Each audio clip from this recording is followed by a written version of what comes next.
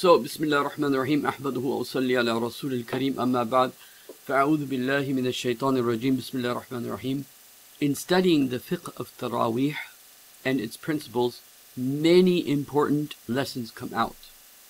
And for the students of mine that will be listening to this, it will be great for you because it's going to give you a more comprehensive view of how to understand Islamic law and how Islamic law works. Okay? For this, uh, we will be using a classical text, uh, Nurul Idah, uh, and we're going to read it and then I'm going to explain it. I'm going to try to make this relatively a dry topic. Um, it's a very deep uh, topic when you go into the details of it. It's a very deep topic, but I'm going to not go too deep. I'm going to keep it just to the basics and try to not let it become too dry. This is one of those subjects, if you start reading in a book, it's uh, one of those subjects, if you dive deeply into, uh, you're going to see a lot of nuances, a lot of difference of opinions. Um, but the most important thing is to understand methodology of Islamic law and uh, how the old scholars used to think. With this, uh, I want to especially talk about in the month of Ramadan, uh, the spirit of Islam, the spirit of Ramadan. Shahr Ramadan alladhi unzila fihi al-Quran. Shahr Ramadan is the month in which Allah revealed the Quran. But as uh, I will talk about that, but let's first talk about some of the fiqhi uh, issues, some of the legal issues, okay? So, Bismillah ar-Rahman ar-Rahim, uh, Fasl fi Taraweeh. So this is the chapter uh, regarding uh, Taraweeh, okay? Uh, Sunnatun li rijal wan nisa. So, uh, this is, meaning this prayer, Taraweeh, is a sunnah for the men as well as for the women. Okay, now uh, let me just uh, share something for, with you. Okay, the Taraweeh is in Islamic law something. There's something called sabab. Something happens because of something. The Taraweeh prayer doesn't have a timing. Can you pray Taraweeh prayer anytime you want? Can you pray at Dhuhr time or or Fajr time or Asr time? No, it has a timing. When does the timing of Salatul Taraweeh start? And when does it end?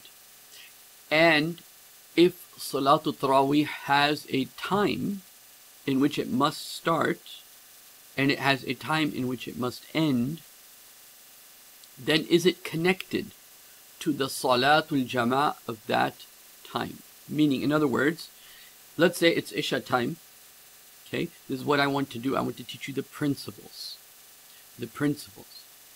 The the underlining reasoning. The the legal logic of Islam. Okay? If the time for Salah comes in, for example, the time for Isha comes in. Okay? The time for Isha comes in and uh, you uh, say, okay, I'm going to pray Taraweeh prayer. And then after my Taraweeh prayer, I'll delay my Isha prayer. Can you do that? Okay. So this is the thing. How do we determine such a, how do we legally determine uh, something like this? So let's go back to the beginning. The Taraweeh prayer is a prayer the Prophet never did. The Prophet ﷺ led people in tahajjud prayer in Ramadan three times. And he said, I don't want to do it more because it would become compulsory upon the believers. And Taraweeh means to make things easy, which means that instead of the hardship that one has to go to through to go to sleep and then wake up and then pray, this is right after Isha. So how did we come to this prayer? We came to this prayer by Umar bin Khattab radiallahu an. He was one day, what? Uh, sitting by his companions. Uh, hold on one second. Uh, Umar bin Khattab was sitting by his companions, or he went into the masjid and he saw different groups of people praying, and he said, We should all pray together. And this prayer was called Taraweeh prayer. Okay? Now, the Prophet never prayed Taraweeh prayer. He prayed Tahajjud at night during Ramadan. So how and what gives us the right to start an ibadah, a prayer, that the Prophet never started? So, the answer to that is ijma' of the Sahaba, the ijma' of the companions of the Prophet sallallahu if the companions of the Prophet have an agreement on an issue, like Abu Bakr is the Khalifa, or the putting the Quran in the form of a book, or the Taraweeh prayer, which all form, of, meaning Abu Hanifa, Imam Malik, all the children of the Sahaba that were living in Medina, for example, Imam Abu Hanifa, and all the companions of the Prophet that were li- living in this garrison city, where more than 2,000 companions of the Prophet lived in Kufa, Imam Shafi in his mazhab, Imam Ahmad bin Hanbal in his mazhab, even till today in Mecca and Medina, they read 20 rak'ah. And that is because of the ijma' of the companions of the Prophet I don't want to argue over 8 and 20, because that will be a separate, but over here it should suffice that for the people that follow the Zahiri mazhab, that uh, they want to do what the Prophet ﷺ did, and they argue the Prophet only did 8, okay, but the Prophet also said that من قام به إيمانا واحتسابا غفر له ما تقدم من ذنبه وما تأخر Whoever stands up at night in the days of Ramadan إيمانا واحتسابا with iman and taking himself to task, right? غفر له ما تقدم من ذنبه وما تأخر All his sins before and after will be forgiven. So we could say, from a Zahiri madhab perspective, that eight is sunnah, okay, but what you you can do more than that, that's also sunnah because the Prophet says, Man qama bihi. Whoever stands at the night, the whole night, it can be 10, 20, 30, 100. It's the, that is there. Okay? Just only, I, right now, I'm trying to establish something about the Taraweeh prayers. You cannot just pray Taraweeh prayers. The Taraweeh prayer by the ijma' of the Sahaba, which the Taraweeh prayer came into existence as an ijma' of the companions of the Prophet, just like putting the Quran in the form of a book. The ijma of the Sahaba is that this prayer will be done after the Salatul Jama'ah of Isha. So it is sabab. Because you prayed this, now you can pray this. Okay, so this is called sabab in Islamic law, in the Usul al-Fiqh. Sometimes something is nahi. Because you did this, you can't do this. And something, something is a, is a shart, it's a condition. You need to pray, so the shart is, the condition is, to pray, you have to have wudu. And sometimes something is sabab. Because you did this, now you must do this. For example, if you break your fast, now you have to fast for 60 days or feed the poor or whatever have you, right? So it is Salatul Jama'ah. When does Taraweeh start? After, not Isha time specifically, but specifically it start. You cannot have Taraweeh prayer except after Salatul Jama'ah in the masjid, after the Isha prayer is done. Okay? So, Salatul Taraweeh is considered a sabab in the month of Ramadan after the Isha. Only in the month of Ramadan. Only after Salatul Jama'ah. Only when Salatul Jama'ah will be done can you now start Salatul Taraweeh. You can't say, well, I'm going to pray my Taraweeh prayers. That would actually be more like Nafil prayers and then pray my Isha prayer.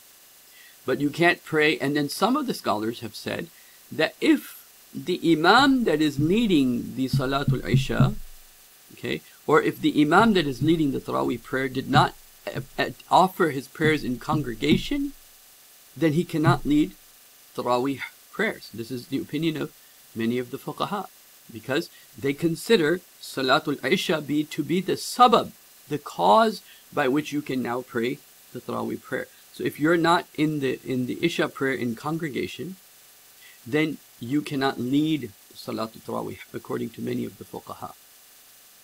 Okay? Now you may now the idea is not if you agree or disagree based upon the knowledge you have or the understanding you have. The idea is to understand the perspective, the principle, the legal reasoning so let me just share this same point from a different perspective, okay? Let us say that the Imam who led the Isha prayers is different from the Imam who led the Taraweeh prayers. Okay? The Imam who led the Isha prayers is different from the Imam who led the Taraweeh prayers. After the Taraweeh prayers are done, the Imam of the Isha prayer announces, Oh, oh, I forgot I didn't have wudu. I didn't have wudu during my Isha prayer. Now the Imam of the Taraweeh prayer was different. So, some of the scholars, especially the Hanafi scholars, they'll say, oh, well, the Isha prayer is what causes the Taraweeh prayer. If the Isha prayer was invalid, then the Taraweeh prayer will also be invalid. We have to re-pray Isha as well as the entire Taraweeh prayer. We have to pray the Isha prayer as well as the entire Taraweeh prayer. Do you follow the logic? The Taraweeh prayer comes into existence only as a result, as a cause of the Isha prayer, Salatul Jama'ah. And because if the Salatul Jama'ah that causes the Taraweeh prayer is invalid, then all of the Taraweeh prayer also becomes invalid. So this is the legal reasoning. Okay. Now, let's talk about another issue here that you should all know and is very basic, and that is that no Salatul Jama'ah can be led by a person who has not reached Balugh. You cannot lead prayers if you haven't reached puberty. But even though the person who is leading the prayers has to be somebody who is actually in a status of responsibility of doing that prayer. I'll give you an example. If I'm one years old and my parents take me to Hajj, did my Hajj take place? I get the reward of Hajj, inshallah. But the status of me doing Hajj is not completed because for me to complete Hajj, I must be of the age to do Hajj. If the person leading the prayer is not sane, not Muslim, or not in above the age of puberty, has crossed puberty, then he cannot lead prayers. Let's ask another question. Can the person who's behind the Imam, who is sane and Muslim, reached the age of puberty, can the person who's behind the Imam and is not reached the age of puberty, and he knows his Quran, can he correct the Imam? Can he correct the person who is leading the prayers? And the answer is yes Even though he has not reached puberty, but he is allowed to correct the Imam. Okay? So now, uh, let's look at this text over here. Sunnatul Rijal wan Nisa. So, Salatul Taraweeh is sunnah for the men and for the women. Okay? وصلاتها بالجماعة سنة كفاية meaning the salah of Taraweeh prayer is in Jama'ah, it cannot be done alone and it is sunnatul kafaya. Now, this is interesting. It is a kafaya. It is a, as long as some people in the community are doing it, it is a sunnah. But it is not a sunnah in the sense the Prophet never did it. It is a sunnah in the sense that it is ijma' consensus of all the companions and the Prophet alaykum sunnati on you is my sunnah sunnatul khulafa ar-rashidin al-mahdiyyin so Umar did it Uthman did it Ali did it and the whole ummah did it after. Okay? So it's an interesting ibadah in that sense. Okay? It's really an ibadah of unity of the ummah in a sense that, uh, you know, it wasn't initiated by the Prophet. It was initiated by his disciples, by his hawariyin, by his, I mean, the Prophet, his sahaba, his companions of the Prophet sallallahu alaihi wasallam. Okay? So now, وقتها بعد صلاة العشاء and its time comes in after Salatul Isha. ويصحى تقديم وتر على تراويح and it is correct it is not wrong it is not invalid to pray Salatul Witr before Tarawih وتأخير أنها or delay it after Salatul Tarawih ويستحب تأخير التراويح but better is that you delay the with the prayer till end, end of the Taraweeh prayer. إلى ثلث الليل أو نصفه. Okay, and then the Taraweeh prayer will continue or is till two thirds of the night or till half of the night. And as for the Taraweeh prayer, لا يكره تأخيرها. there's no disliking if you want to delay the Taraweeh prayer. إلى ما بعده على صحيح. Okay? The more you delay the Taraweeh prayer, the better it is. Nowadays, of course, we uh, it's already like 9, 10 o'clock by the time we pray Taraweeh. And then, وهي عشرون ركعة, and it's 20 rak'ahs, by consensus of all of the four mazahibs. and bil ashrata taslimat. And by 10 taslimat. 10 salams. Okay? So you can't combine two and two uh, you can't combine them into four and then have less taslims. So if you did it four it'd be in five four four times five. So you can't just do four four four. You have to do two two two. And then you say your taslimat. Some scholars are of the opinion you can do four four four and that is a Shaz opinion, a weak opinion, and uh, don't need to go into that. Oh yeah, I forgot to. Let's go back to the one of the questions I had. So let's say somebody comes to uh, the masjid, the Isha prayer is done, and now he leads Taraweeh prayer. Some of the scholars will say, well, wait. Salatul Isha Jama'ah is the condition by which Taraweeh prayer is done. If he did not do Salatul Jama'ah, he cannot lead in Taraweeh prayer. Remember that? Okay. Now, I want you to think if this is correct. But some of the scholars, they say, well, the way around this is what?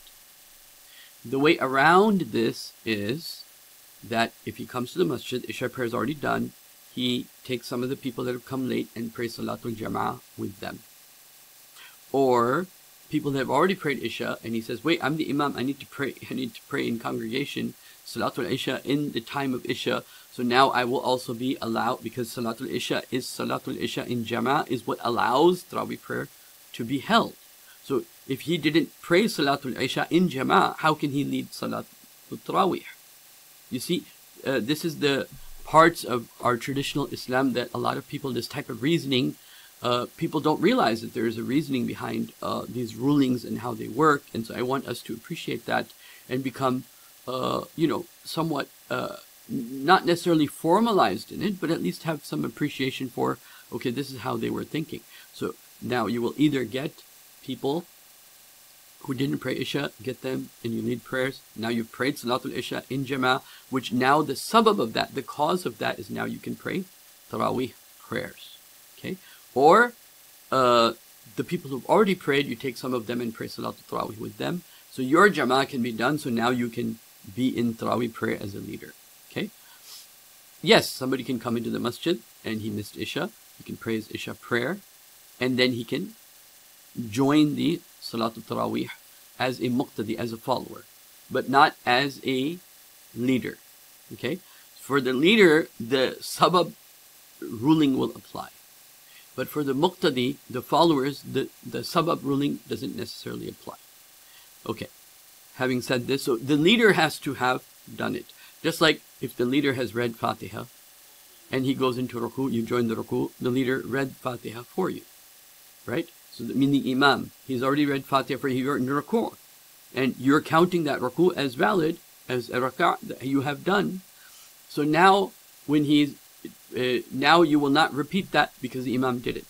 So the same way, when you join Salatul Taraweeh, because the Imam has already joined a congregation which allows Taraweeh to take place. So now he can lead, he can, he can be in the, now, now when the Imam has led Taraweeh, or he has been in, in uh, when the Imam has joined a Jama'ah, and now he's the Imam, so he's been part of that process that allows the sabab to take place. I hope I'm clear here. Okay. So, uh, let's now look at the text a little bit more. Oh, before I forget, some of the scholars, especially within the Hanafi fiqh, they don't consider it sunnah because the Prophet didn't do it. They consider it mustahib. It's preferred. It has a preference. So some of the scholars say it is sunnah because of it is the ijma of the companions of the Prophet. And some of the scholars, they said, no, it's not sunnah because the Prophet didn't do it, sallallahu alaihi wasallam, but rather it is mustahab. It is something that's desired. It's desired you do this. It is uh, good if you do this. It's easy to do this. Okay, so that's uh, one aspect. The other thing is, is that there, because it is desired, and the Isha, Salatul Isha Jama'ah, causes the Taraweeh to take place, The question is, can you do this at your house? And the answer is yes. You can do this at your house. However, of course, it is better to do it in the masjid where of course there is a proper adhan which we can't do today because you know at least in america you don't have loudspeakers where it's actually calling and inviting people. So there's an actual formal establishment of salah which reminds me uh, when i was talking about the person who is leading the tarawih has to have been in salatul jama'ah well that leads us to another uh, situation another mas'ala another issue which is that generally in the hanafi fiqh the reasoning of this issue that I'm about to explain goes like this. Look, there's only one Salatul Jama'ah proper in the masjid in the area where Salatul Jama'ah will be done in the in the front. There's adhan, then there's iqamah, then there's a salah. That's the official salah. Anybody that comes after, even if 10 people come after, they'll pray their individual prayer because they missed the prayer. They missed the prayer of the masjid. So this is one of the opinions, is that, uh, and, and you'll, uh, you will pray in the sides or in the back, okay, where people will not cross you in the front. By the way, this is a mistake that a lot of people make, uh, is that, you know, they'll pray in the middle of the masjid, or they'll pray in a place where people can come in front of them. The way you should be is, when you come into the masjid, you should sit on the sides first, okay? So you cover the front and the side, and the front and the right side, and then until the front gets to the left side in the front. So when the people are coming, they're not walking in front of each other. Okay, so uh, I've seen like people they'll finish their fard prayer and then pray the sunnah prayer right in the middle of the masjid. That's incorrect. It's not the right way to do it. You should pray the sunnah prayers on this side. And when you come into the masjid, like on Jum'ah or even for Tarawih prayer in Ramadan, when you come to the masjid, you should not start your sunnah prayers right in the middle of the masjid. You should go to the side so no one will come in front of you. Okay? That so, but now here's another issue, which is that the real official salah is the one that's done salatul jama'ah after the adhan and the iqamah. If you're going to do salatul tarawih at home, you should also still give the adhan and still give the iqamah and then do a proper jama'ah. And then the people who have been in the jama'ah, then they start salatul tarawih. Okay? The person, if he is leading tarawih and he comes late, he has to do salatul jama'ah according to the Hanafi uh, fiqh. Okay? Uh, okay, now let's go back to the text. Now, as you can see from the text, there is a timing for Salatul Tarawih, which means what?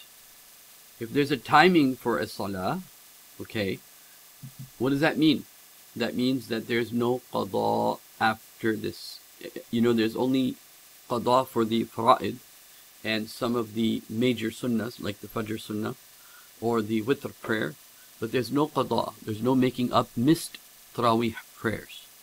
Okay? It has to be prayed in its time, and if it's not prayed within its time, meaning from after Salatul Jama'ah to uh, Subah, to the Fajr time, if there, if you miss, if you do not pray during this time, then the next day you cannot pray the Tarawih of the day before. You can pray Nawafil, you can pray extra prayers, we can't pray Tarawih prayer. Tarawih prayer has to be, uh, you know, mostly the opinion is it has to be in Salatul Jama'ah.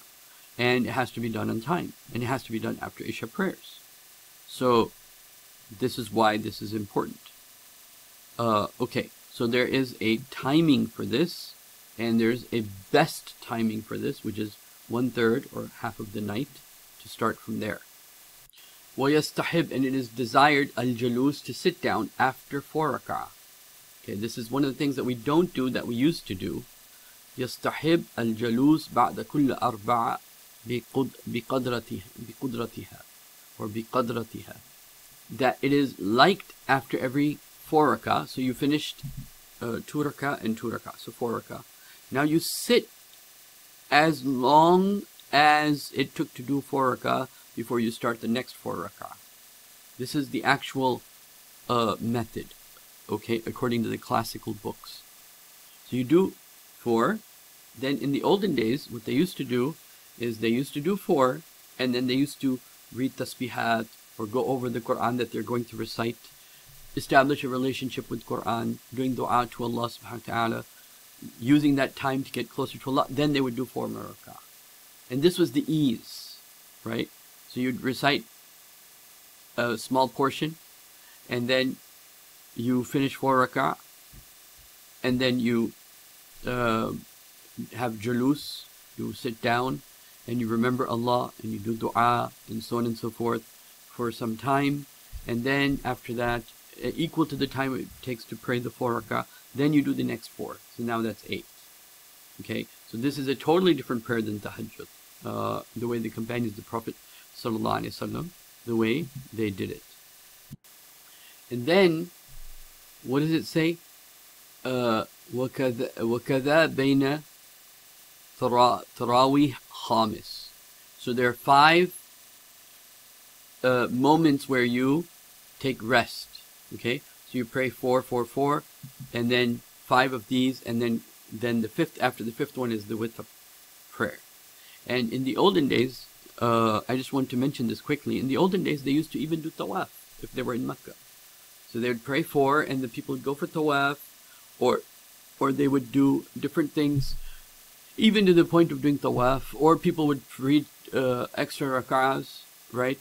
And uh, and then also it became ijma' to finish the whole of the Quran. When Umar radiallahu anh started it, he, his ruling at that time was that if it's a fast reader, he can read 30 ayahs. If it's a slow reader, 10 ayahs. And he kept it really easy. After that, uh, the uh, the agreement became uh, that uh, we'll read the whole of Quran. And so the Khatmul Quran became, in the whole month of Ramadan, through the Tarawih prayer, became like a sunnah. Okay? And so, uh, so he says, وَسَنَّ خَتْمُ الْقُرْآنِ فِيهَا مَرَّةً One time in the month. وَفِي شَهَرْ عَلَى الصَّحِيح And uh, in the month, finishing the whole Quran is correct. Uh, and now he says some important things about the person that's leading. وَإِن مَلَّ بِهِ قَوْمٍ كِرْعَى بِقَدَرِ لَا يُؤَدِّي إِلَى تَنْفِيرُهُمْ فِي الْمُخْتَارِ Okay, so it's a very important legal point. وَإِن مَلَّ بِهِ قَوْمٍ If it, if it, if this will cause people, meaning the recitation of the Quran, finishing the whole Quran, if it will cause people to, um, if it will cause people to become bored, وَإِن مَلَّ بِهِ قَوْمٍ فقراء بقدرة ما لا يؤدي إلى نفيرهم Don't read so much Quran that it will cause people to not come to Salatul Jama'ah of the Taraweeh prayers. في المختار this is better this is better uh, ولا uh, ترك الصلاة على نبي محمد صلى الله عليه وسلم في كل تشهد منها So number one, if you have to reduce the recitation and have more people, is better than to do a lot of recitation and have less people. Okay, so this is one of the, the things that is uh, in this. وَلَا تَتْرُكُ الصَّلَاةَ عَلَى النَّبِي صلى الله عليه وسلم. And do not abandon, because people are praying quickly, and some of the fuqaha, they feel the prayer ends at, for example, التحيات لله والصلوات والطيبات السلام عليك أيها النبي ورحمة الله وبركاته السلام علينا وعلى عباد الله الصالحين أشهد أن لا إله إلا الله أشهد أن محمدا عبده ورسوله السلام عليكم ورحمة الله السلام عليكم ورحمة الله without saying salawat upon the Prophet صلى الله عليه وسلم so reduce the recitation okay uh, لا تترك صلاة على النبي صلى الله عليه وسلم في كل تشهد منها ولو ملأ بقوم على مختار okay uh, by choosing this, even if people get bored, because of this, this you should not stop. ولا تركوا الثناء تسبيح الركوع والسجود and don't leave doing proper sana and you start the prayer سبحانك اللهم وبحمدك and سبحان ربي الأعلى سبحان ربي العظيم in the ruku and the sujud ولا يأتي بالدعاء in ملأ القوم you don't have to do the du'as after the durud Ibrahimiyya if you feel the people are going to get bored but always say the salams upon the Prophet. And if you don't want to say uh, du'as after that to keep people from not being bored, that's okay. Uh, now, uh, the next part ولا تقضى تراويح بفوتها مفردا منفرد منفردا ولا جماعة you cannot make up salatul jama'ah of uh, you cannot make tarawih prayer up by jama'ah or individual after the time is up you either pray within the time or you cannot make it up and if you have no one to do it with you then of course you can do it alone but if you don't if it, but it's better to of course have people with you and do it in salatul jama'ah okay so uh, what do we learn here? Uh, we we learn a lot of things, but I have to give a few more rules, inshallah. Uh, but these are actually very complicated rules, and each one of these two topics that I'm going to cover right now might require a video on its own. Um, so these are some of the basic rulings. Of course, uh, there's there's a, a lot more. Okay, but now let me talk about sajdatul sahw. Okay, when do you make a sajda for making a mistake. The very simple rule is when, so I'm going to explain to you the simple rule and then I'm going to ask a series of questions because I think, think that's the best way to engage the people and help them learn so that they can get the concept, okay? Uh, so let's talk about sajdatul sahw a little bit and then sajdatul tilawa a little bit. Okay, so sajdatul sahw is when you make a mistake, you have to do an extra salam and a sajda and there are different views on this amongst the different mazahib, so I'm not going to go into details of that right now. But simply understand this. This is the rule. If you make a mistake but you're in the proper position, you do not have to do sajdatul sahw. But if you break the proper position, okay, then you need to do sajdatul sahw. Okay, so for example, there are two rak'ahs and then salam. So somebody stood up on the third. What does he have to do? Now he has to, when he will go down, it's recommend if he remembers in his third rakah, oh, wait, I was supposed to finish it off and I just stood up because you know people are memorizing Quran and they're reviewing their Quran and it's very taxing. People behind you, there's a lot of stress, so people tend to forget sometimes. And so, you know, he did two rak'ah. Instead of saying salams, he stood up because he it was like Dhuhr prayer, Asr prayer, Isha prayer. And now he starts reading Fatiha, and the muqtadis behind him didn't correct him. They didn't stay sitting. They stand up with him. Now, now he's reading Quran. And so now what? Now he remembers all of a sudden in the third rak'ah, uh, oh, I was supposed to sit down. So what should he do? He should sit down immediately. Number one. Number two, he has to do sajda to sahw. Why? Because he broke the order of positioning. Okay? He broke the order of positioning. If you forget like a sajda, or you pray an extra sajda, right? Uh, for anything you mess up in a, a positioning process, ordering process of salah, you have to do sajdatul sahw. Okay? Now, that's the first point. And this can go on at many different levels. Over here, I want to mention if he's doing, if he prayed two, if he prayed two and stood up for the third, what should happen and what is the right thing to do is the muqtadis to say sitting. They should not get up. If you know for sure he finished his second and he gets up on his third, you should the muqtadis, the people following him, should stay sitting. And of course, if he insists, then you have to go with him. But it's better to keep sitting until he's forced to come back down and say his salams, and then you can discuss the matter afterwards, right? So if he stands up and then he reads the third rak'ah, he didn't realize it. Now he's gone beyond the ruku'. And now in the fourth rak'ah, he realizes, oh, I was supposed to do that in the second. I was supposed to do the uh, salam on the second rak'ah, but I'm he's already on the fourth. In the third one, he can go down and sit down immediately and continue the prayer till he ends it. Okay? But he has to do sajda sahw. But if he goes to the fourth one, then he has to finish the whole prayer in its proper way. So it's two cycles and two cycles. Okay? And in that, the qira'ah of the last two will be counted, and the qira'ah of the last, the first two will not be counted, according to the Hanafi opinion, because uh, it, the the first two, and that will have to be repeated in the next uh, cycle of the Tarawih prayer. This is in the Hanafi opinion. I don't want to go into the details of why, what's the uh, legal reasoning of that right now. But uh, if he prays, uh, the main thing I want to mention is that if you forget the order of things, okay, then you have to do sajdatul sahw. There are some exceptions that if you break a major rule, like a major rule that is like uh, wajib, okay, within the salah, it's wajib to do that. For example, sajdatul tilawa, okay. There are certain verses of the Quran, if you read it, you have to go to sajda. Uh, the Hanafi scholars allow up to three ayahs after sajdatul tilawa to come to the realization you have to do sajda. If you do, if you do not do sajdatul uh, tilawa, and there are two ways to do it. One is, of course, as soon as you read the ayah that requires the sajda, you go into sajda, and then you come back up and you continue to recite. And if the person uh, stands up and he forgot where he was and he goes blank, he can go straight into ruku without reciting.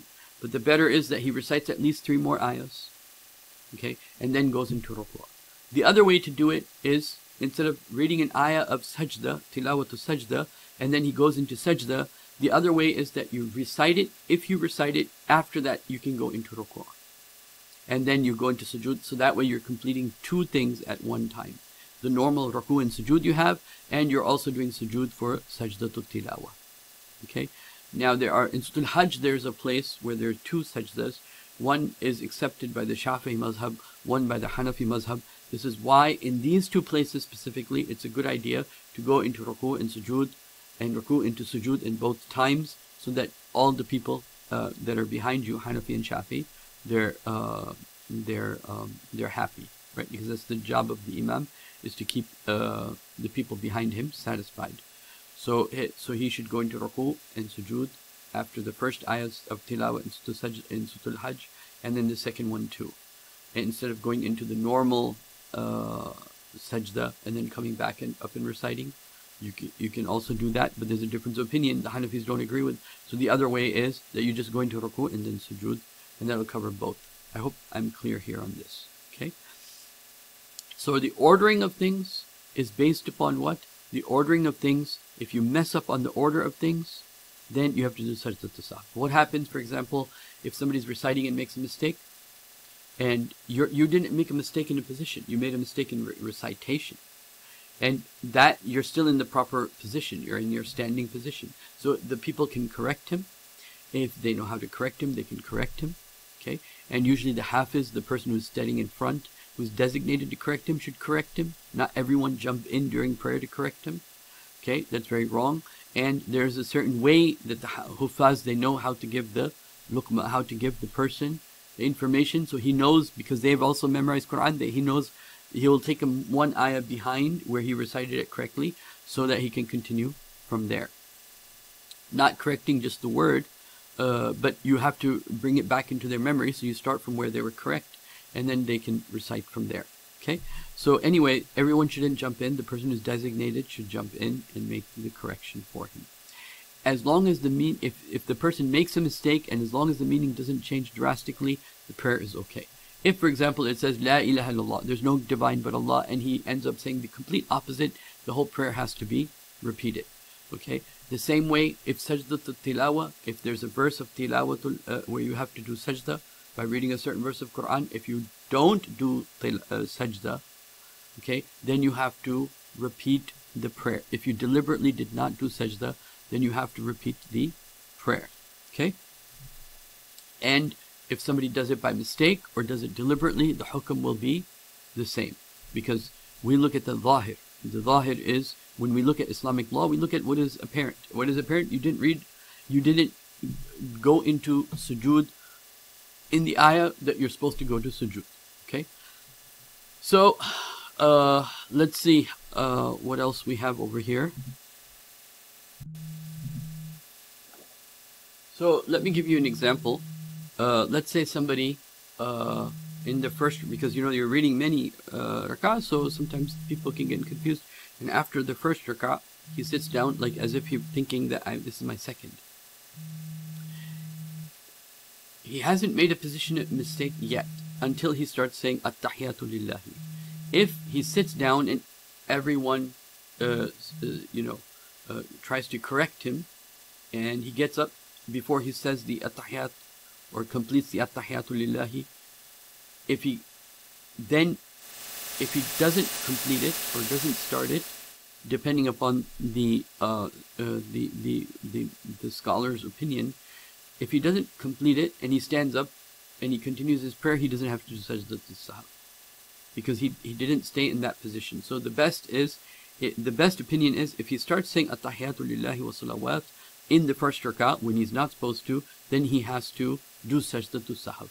If he didn't, he just sat down thinking it's the second one, but then he noticed everyone is standing up, or everyone thought he's standing up and some stood up, or that he got informed, because you're not supposed to go ahead of the imam.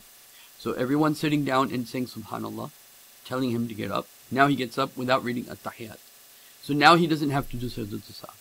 But if he started reading at-tahiyatu lillahi, then now he has to do sajdatu sahw. Okay? So that's uh, part of this. So these are the basic, basic, basic uh, rules that every Muslim should know. And so I've been through them, but it's actually very complicated when to do Sajdat Sahw, what the Imam has to do uh, if he makes a mistake. It can become very complicated. If he made the mistake in the first rak'ah, second rak'ah, if he stood up for the third rak'ah, it, it, but I'm not going to go into all those details. Uh, suffice to say that the most important thing is to understand the basic principles. How Taraweeh prayer takes place, it is a sabab. Okay? And uh, then also understanding uh, why certain uh, rulings are made, what is the way of thinking about those rulings. And uh, for example, the salah has to be led by somebody who's sane Muslim and has reached puberty. Um, it's like you can't drive without a license until you're a certain age. Then you can. It's same thing with salah. It's not your responsibility till it's your responsibility. Um, so I think this is enough for now. Uh, later on, if Allah wills, and you can tell me in your comment section if you'd like more videos about Islamic law, then I'll maybe make uh, a video specifically on Sajdatu Sahw and another video specifically on uh, uh, Tilawatu Sajda. Uh, but uh, give me your feedback. Let me know what you think. If you benefited from this, then maybe we can try to do once, one a week, inshallah ta'ala. Alright, jazakumullah khairan. Assalamu alaikum wa rahmatullahi wa barakatuh.